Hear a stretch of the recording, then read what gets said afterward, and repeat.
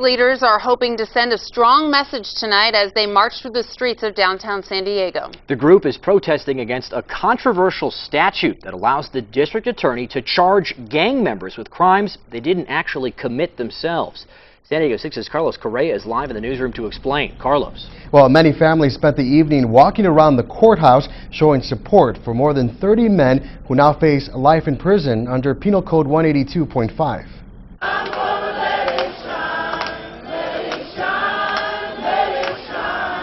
Through music and prayer. Oh, peculiar God, we are here to pray for 33 young African American men who have apparently done nothing more than love their neighbors.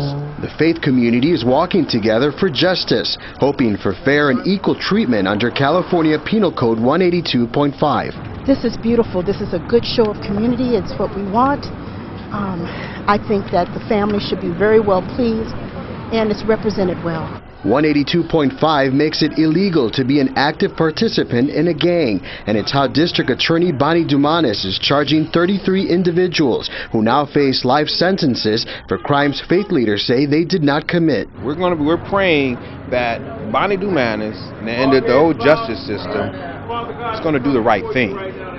You know that they're going to drop this case, drop the 182.5, and if they want, and just and go after criminals. Go after people that have committed crime. Aaron Harvey was stopped by police in the summer of 2014. He was arrested for conspiracy. He's out on bond but could be locked up for life if a judge doesn't dismiss charges under Penal Code 182.5. We represent our community.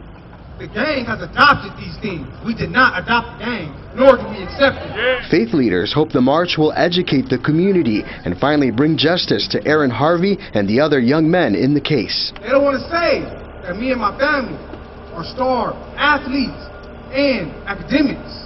They don't want to say that we have college scholarships. They don't, they don't talk about the education. They want to demonize things. A San Diego County Superior Court judge will make a decision whether to dismiss the charges against the 33 young men facing life sentences. The court hearing is set to take place tomorrow morning. Live in the newsroom, I'm Carlos Correa, San Diego 6 News.